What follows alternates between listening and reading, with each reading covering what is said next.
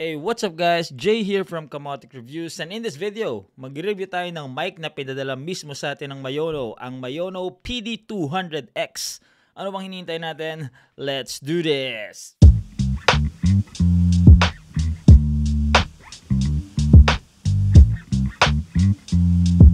Full disclosure, gaya nga ng nabanggit ko, pinadala sa atin mismo ng Mayono tong mic na to. Ganun pa man, I'm still gonna give my honest feedback on this mic. So ano yung mga makukuha nyo sa loob ng box kapag binili nyo to? So ito pala yung box niya. Well, of course, first and foremost is yung mic mismo. Ito yung mic, may kasama na rin shock mount. So the, sa first time na bubuksan nyo yung box, actually magkasama tong mic at saka yung shock mount ng ganito. Pero of course, pwede nyo tong kalasin. Tong mic na to, pwede nyo gamitan ng XLR connection or USB connection. So ang cable na kasama dito is yung USB-C. So you have a USB-C cable in one end, USB-C, sa kabilang end USB-C rin. Pero ang maganda dito, meron siyang kasamang USB-A adapter. So wala siyang kasamang XLR na cable. Then meron din siyang kasamang thread adapter para just in case yung shock mount hindi swak doon sa gagamitin ninyong mic stand, pwede niyo gamitin ng thread adapter. And then lastly is yung manual. Yung manual is useful, wag niyong itapon, hindi katulad sa iba na parang walang kwenta yung manual na sinasama or documentation. Ito pwede nyong gamitin. So meron kayong limang makukuha in total, yung mic na may shock mount, then yung USB cable, then you have your thread adapter, and then yung manual. Wala siyang kasamang mic stand though, so take note of that.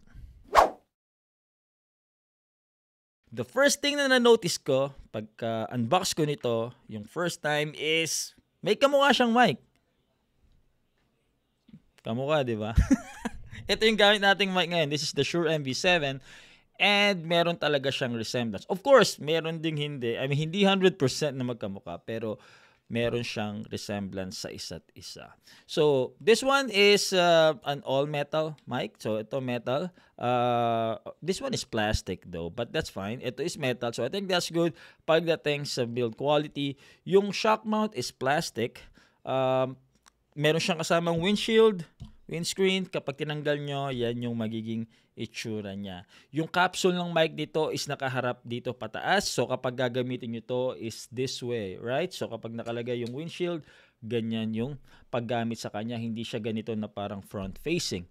This is also a mic na may cardioid polar pattern. Mamaya mas pag-uusapan natin yan ng details. Pero ibig sabihin nun, mas malakas yung sa harap kaysa dun sa likod at saka dito sa gilid na pick up nung mic.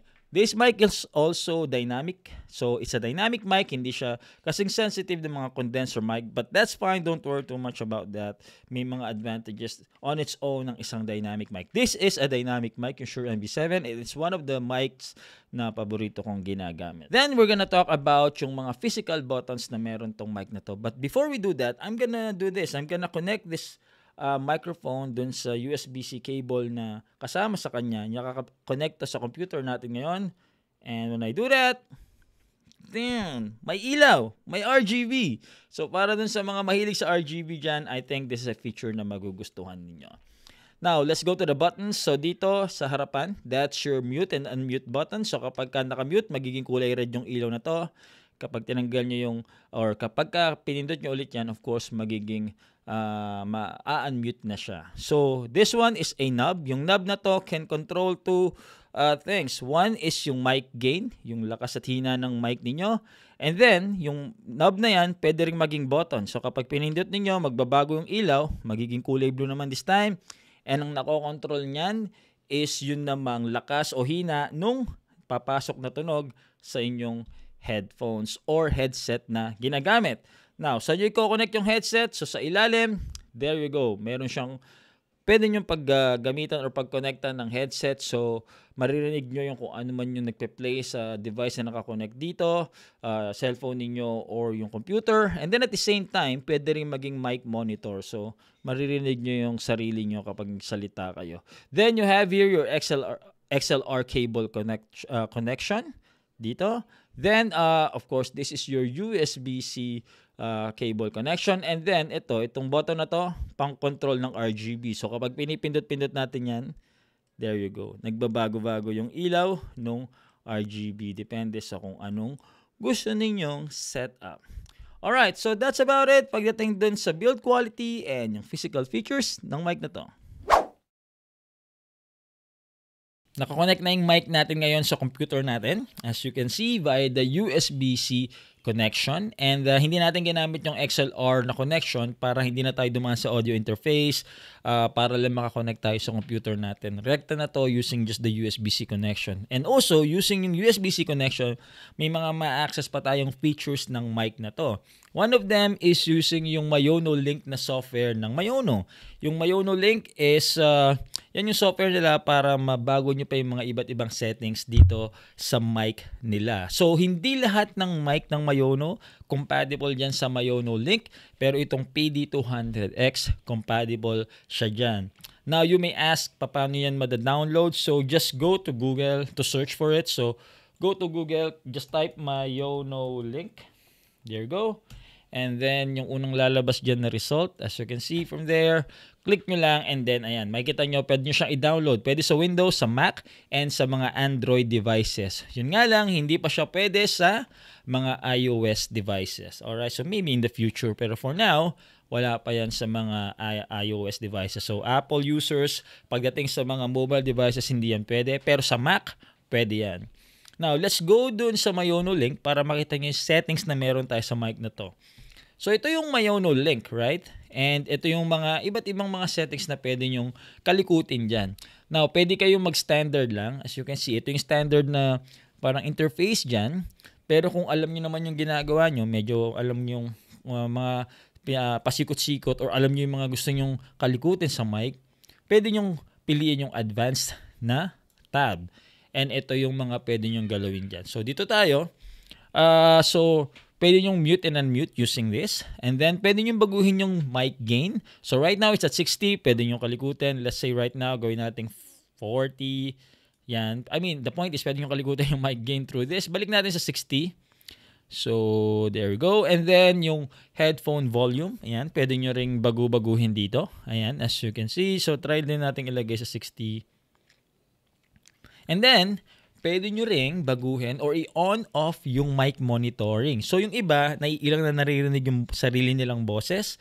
So pwede nyo i-off dito using the Mayono link na software. So if I click this, off, hindi ko na naririnig yung sarili ko dito sa headset ko ngayon. Pero obviously, naririnig nyo pa rin ako. Pero ako, hindi ko na naririnig. Now, I'm gonna turn it back on kasi gusto kong marinig yung mga nagbabago-bago uh, dito sa settings.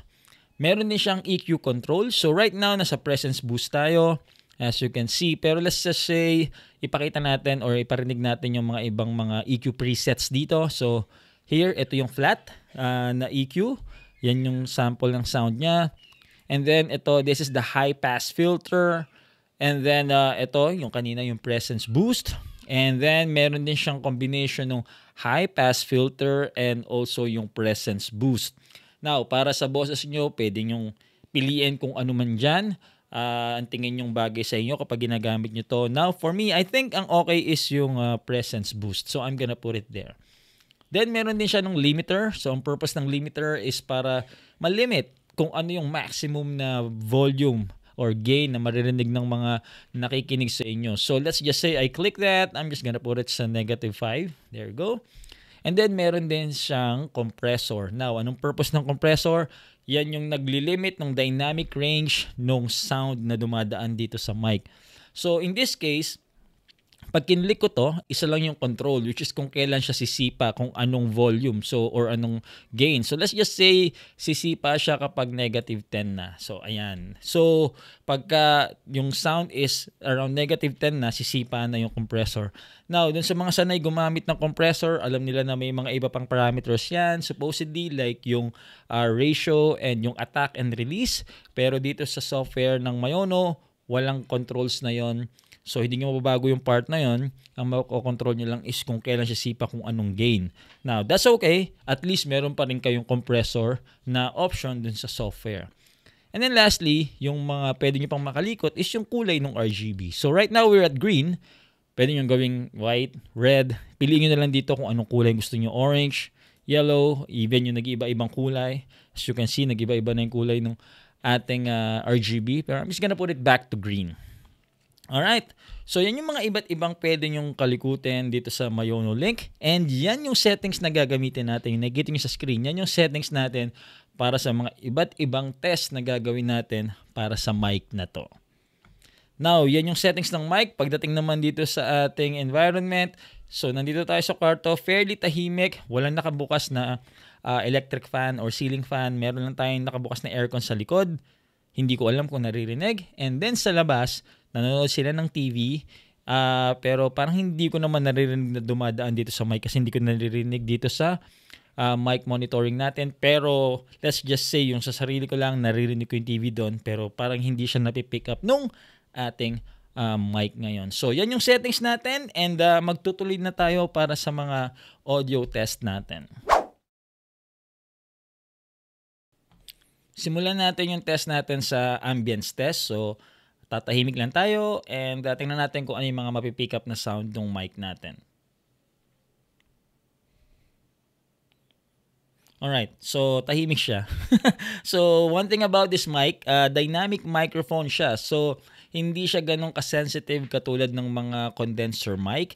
Pero of course, may mga advantages and disadvantages yan. So kung medyo maingay sa paligid niyo or expected niyo na medyo maingay dun sa paligid ninyo kapag nagre-record kayo, actually, mas magandang ginagamit ninyo is a dynamic microphone para hindi niya napipick up lahat. In fact, this one, this is one of the mics na gustong gusto ko talaga. Itong Shure MV7 is actually a dynamic microphone as well. So yung iba gusto lagi ng condenser, pero syempre may mga kanya-kanyang gamit yan. For now, I really like the fact na uh, yung dynamic microphones na ginagamit ko is hindi siya ganun ka-sensitive para hindi niya napipick up lahat ng sound sa paligid natin lalo na kung ayaw naman natin silang marinig.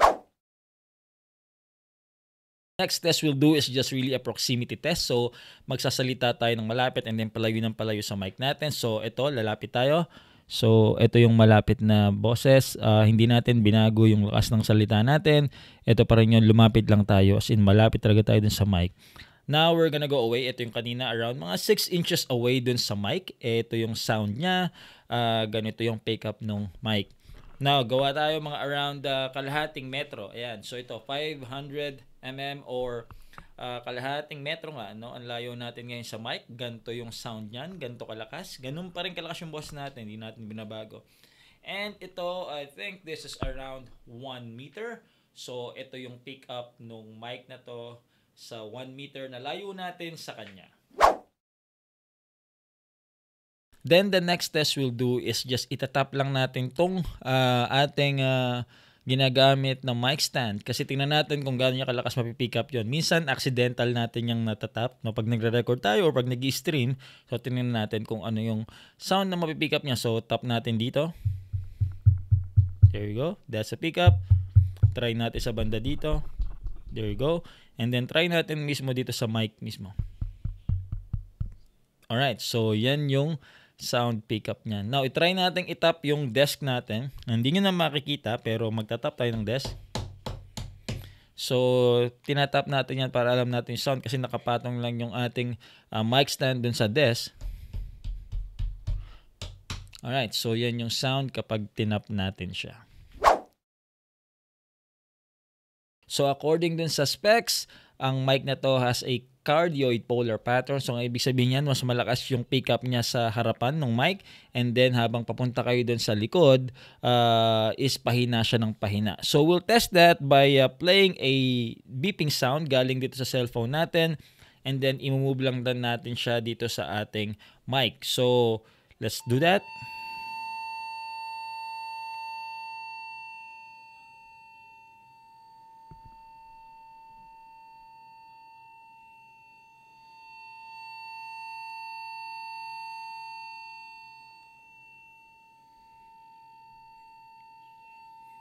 Alright, so I think na-observe naman nyo, based din dito sa naririnig ko sa mic monitoring natin, is kapag nandito sa harapan, malakas siya, and then habang iniikot natin siya dito sa gilid, papunta sa likod, pahina ng pahina yung uh, sound na napipick up nito. So, ang ibig sabihin lang din yan, if let's just say, kung ano man yung gusto nyong maririnig na sound, dun nyo sa harap ng mic itapat. And then, yung mga sounds na ayaw nyo namang marinig, ilagay nyo dun sa likod ng mic. Now, let's do our keyboard sound test. So, this is our mechanical keyboard. It's uh, Gateron Brown switches, by the way. So, let's do that. Ayan, nag-type lang tayo randomly. And then, rage typing. Yan yung sound. Now, medyo weird tong test na to kasi hindi naman kayo dito nag-keyboard, di ba? Pero try natin ilagay sa desk. Hindi nyo lang makikita sa camera, pero ipapatong natin sa desk.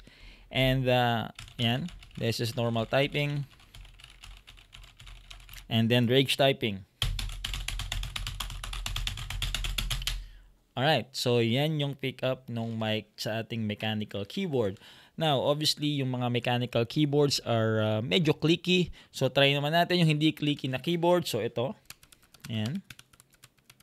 Yan yung sound niya. Again, nandito sa taas. So, medyo weird. Rage typing dyan. Okay? try natin ilagay sa desk. Again, hindi nyo naman makikita. Pero I'm just gonna type it type randomly here and then rage typing dyan. Alright, so yeah, that completes our uh, keyboard test para sa mic na to. Next, gawin naman natin yung paboritong test ng lahat, yung electric fan test. Kaya biglang nagkaroon ng electric fan sa tabi natin. So, ang gagawin natin, uh, yun munang speed na 1, and then 2, and then 3, and then pakinggan natin siya. So, ngayon, obviously, patay siya. So, i-on muna natin. Tingnan natin kung ano yung pickup ng ating mic. Na kalagay pala yung wind uh, shield niya. So, let's go. Speed number 1.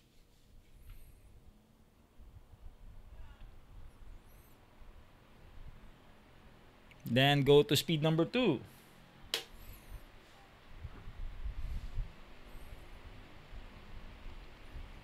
And then lastly, let's try speed number 3.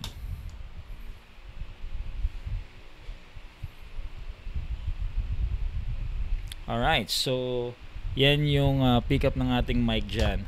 Now, obviously, uh, as I mentioned, this is a cardioid polar pattern. Dito yung mas malakas na sound sa uh, mic na to yung harapan niya. So, let's just say may electric fan kayo. Try to avoid na itatapat nyo sa harapan ng mic or dun sa kung saan yung malakas yung pickup para hindi ganun kalakas yung magiging uh, pickup niya dun sa parang windy na noise. So, let's just say uh, supposedly dapat yung electric fan na to nandun sa side na yon no sa likod ng mic pero since hindi natin siya mailalagay doon para maipakita sa inyo ang gagawin ko na lang itatalikod ko yung mic and then ilalagay ko agad sa 3 para marinig nyo yung pagkakaiba kung meron man. Alright? So, iikot ko muna to para dun siya sa likod ng mic para dun sa kapag ayaw nyo masyadong marinig yung mga ingay. So, let's go.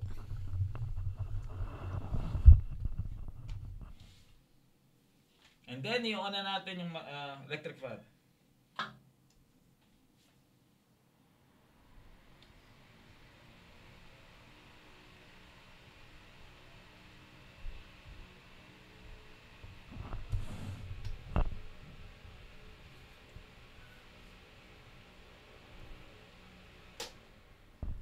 Alright, iharap na ulit natin yung ating uh, microphone and I think na observe nyo naman or kahit paano napansin nyo na nung tinalikod natin yung mic natin is medyo humina yung pickup niya dun sa ating electric fan kahit na naka number 3 na siya. So again, ang tip doon is kung may electric fan kayong ginagamit, ilagay nyo doon sa likod ng mic para hindi masyadong ma-pick up yung windy na sound. Alright, yung next test natin is i-test lang natin to para sa mga plosive sounds. So yun yung mga P sound, yung mga B sounds. Minsan yung ibang mic kailangan ng pop filter para hindi masyadong uh, rinig yung plosives. Pero i-try natin dito sa mic na to. So let's say, uh, let's try saying pizza. Pizza. Pizza. Alright, so that's for our P sound. And then let's try yung B. Bad boy. Bad boy. Alright, so there you go. Uh, I think medyo may naririnig ako na plosives pero hindi ganong kalala. So I think even without the pop filter, uh, mukhang okay pa rin naman tong mic na to. Acoustic guitar test naman tayo ngayon and ang gagawin natin, itututok natin ng onti itong mic natin sa gitara natin uh, para mas doon nakafocus yung sound. Alright?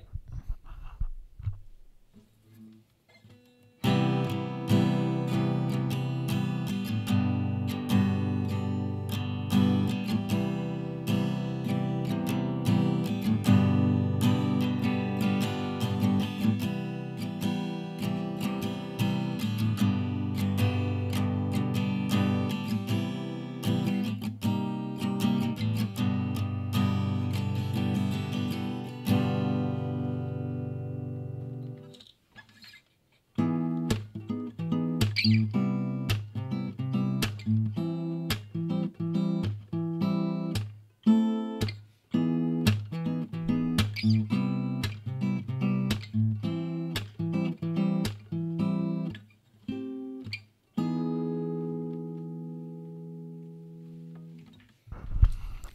so yung next natin gagawin, medyo lalayo lang tayo ng onte para uh, marinig nyo rin yung sound nito or yung sound proximity nito pagdating sa mga instrumento. So acoustic guitar ulit yung gagamitin natin.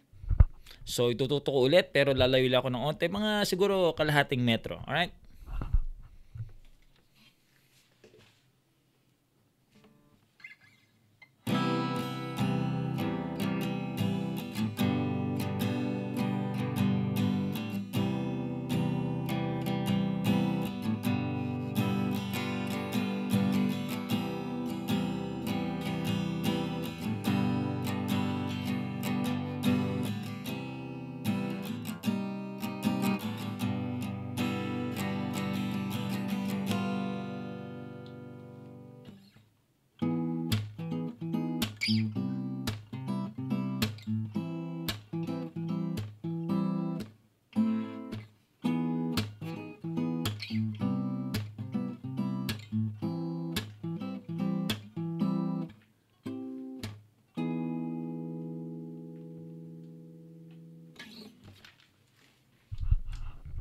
Alright, that concludes our acoustic guitar test. Yung next na gagawin natin is, I'm pretty sure maraming magtatanong ito, pwede ba to sa cellphone? So what I'm gonna do is, meron ako isang Android phone, meron din akong iPhone dito. So, i-test natin siya pareho and tingnan natin kung gumagana nga ba siya. So, ililipat ko muna to, i-connect ko dito and then magre-record tayo. Alright? So right now, uh, itetest muna natin siya sa ating Android phone. We are using our Sony Xperia 1 4 actually to record this part and nakakonect yung mic na to sa ating cellphone using the USB-C connection. So ito yung sound and uh, just to prove na ito yung mic na gamit natin sa recording na to, itatap ko to. Alright, there you go. So yan, yan yung mic natin, ito yung sound. Now, tatanggalin yung connection para gamitin yung native na sound or native na mic ng ating cellphone uh, para makumpara ninyo yung sound. And then at the same time, pag tinanggal ko na yung cable, mawawala yung ilaw ng RGB. Tanggalin ko na ngayon. And ayan, nakita nyo na wala yung RGB and yung gamit natin ngayon na sound or mic is yung native na mic nung cellphone. So, dun sa tanong, pwede ba tong mic na to sa cellphone? The answer is yes, at least for now sa tinetest natin na Android phone. Alright, so next na tanong naman is pwede ba tong mic na to sa mga iOS devices? Right now, sa part na to, ang pinang-record natin is yung ating iPhone 12 Pro, so one iOS device. And yung gamit pa nating mic dito is yung native na mic ng ating uh, iPhone. Now, i-connect natin tong mic na to dito sa ating iPhone using this adapter kasi this is just a USB-C and USB-A connection, right? Uh, walang ganito pang connection yung iPhone 12 Pro natin. So, kailangan natin ng adapter na to, Lightning to USB. So, this is an Apple uh, accessory by the way. Sa Apple ko to mismo binili. So, i-connect natin to and then i-connect natin to dun sa ating iPhone. So, let's do that. Alright, there you go. And as you can see, umilaw na to. And sa part na to, ang gamit na nating mic is itong ating Mayono PD200X. So itap natin to. There you go. That's your proof na ito na yung mic natin. So sa tanong, pwede ba to sa mga iOS devices? Yes, pwede nyo siyang gamitin as your mic. Hindi lang kayo makaka-download ng Mayono link, so hindi nyo makakalikot yung settings nito, but pwede nyo siyang gamitin mic ninyo para sa mga iOS devices ninyo. Alright, there you go. Tapos na yung mga test natin and uh, pasensya na medyo mahaba tong video na to pero gusto ko kasi talagang makagawa ng comprehensive na mga tests na ipapakita sa inyo para dito sa mic na to so that makatulong kapag ka gagawa na kayo ng purchasing decision regarding this mic. Now, what do I think of this mic? Well, I was really impressed or I am really impressed with this mic. So, kung gagamitin nyo to for your podcasting, for your streaming, for recording videos like this, or even for recording, I really do feel that this is a really good mic. You have different options as well sa connection, XLR, USB, pwede siya sa mga iba't ibang mga devices, Windows computer, Mac, and then also for your Android and iOS devices. So, lahat ng yon, I think at the price point na nasan tong mic na to, I think this mic is value for money. Alright, so ayan, dyan na tayo magtatapos. That's what I think of this mic. Pero ikaw, what do you think of this mic? Let me know sa comment section below. And if you haven't subscribed to this channel, please do if you enjoy contents like this. And if you like this video, please give this a thumbs up. Alright, dun na tayo matatapos. Maraming salamat. I'll see you in the next video. Peace out.